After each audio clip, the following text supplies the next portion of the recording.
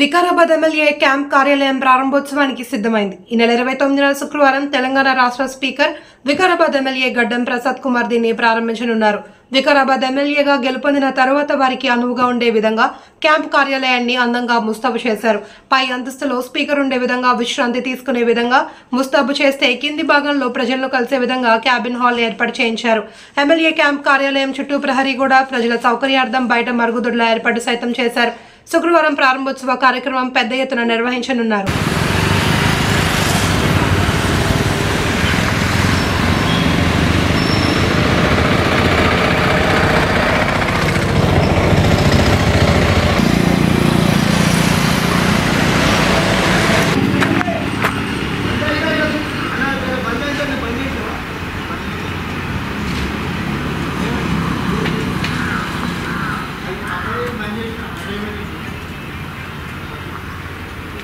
스네드 스네드